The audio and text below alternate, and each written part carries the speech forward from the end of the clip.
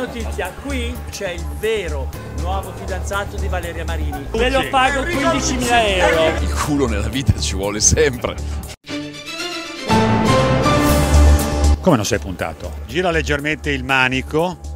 Siamo a fuoco? Tu hai un bel budget di poter, poterti muovere con Antonio Ricci, Striscia la Notizia, Colonio Monzese. Questi invece sono quelli che hanno insegnato a tutti voi. Carissimo, io so da dove arrivano loro perché io arrivo dallo stesso punto loro, Ah, ma sì? molto molto peggio.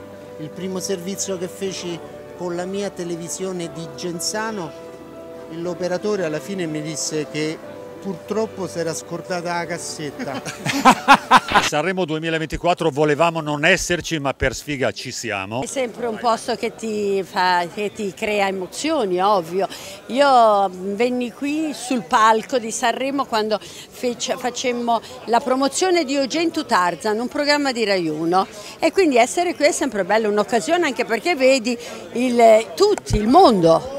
E mi sto accorgendo che Sanremo, a prescindere dal festival, è bella proprio Sanremo, bisogna venirci anche quando non c'è il festival, perché c'è un mare meraviglioso e degli alberghi sul mare stupendi. Quindi si parla sempre di Sanremo per il festival, ma bisognerebbe parlare di Sanremo come piccola bellissima città.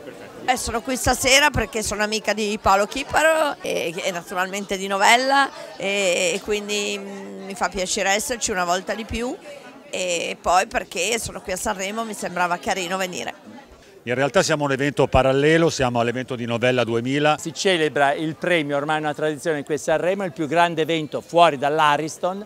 Questa volta lo facciamo in un teatro, al Teatro Centrale, che peraltro con il patrocinio dell'Ariston e con il patrocinio del Comune di Sanremo.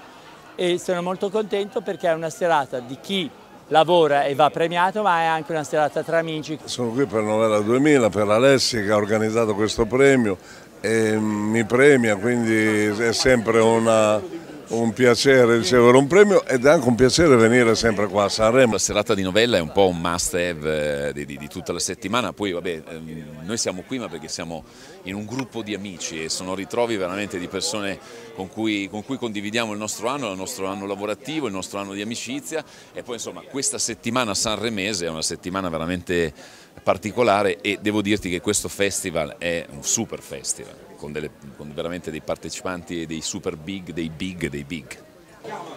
Lo vedo su un binario giusto, eh, misto, una zuppa, giusto, giovani, anziani, a parte che oramai gli anziani non ci sono più, sono incorporati nella gioventù. Sono tante canzoni molto belle, mi piace molto quella di Annalisa, mi piace molto quella di Loredana Bertè e mi piace molto quella di Angelina Mango. Muoio senza morire in questi giorni usati, vivo senza soffrire, non c'è croce più grande, non ci resta che ridere in queste notti bruciate, Sanremo 2024, chi poteva non esserci se non Andrea Bia- Biandrino, nuovo giornalista pubblicista? Chi vincerà Sanremo 2024 secondo te? Secondo me, io spero tanto Angelina Mango perché mi piace molto, ma non sarà lei. Purtroppo perciò vince- sarà Annalisa. Ti offriamo una cena. Vince la 74esima edizione del Festival della canzone italiana al mio 3.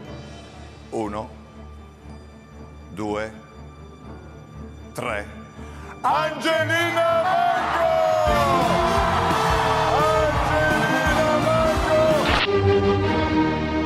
Pronto Francesco? Ciao, sono il Caimano. Sì, no, tutto bene, quasi. Senti, devo prenotare una cena. Eh, a nome di Andrea Biandrino.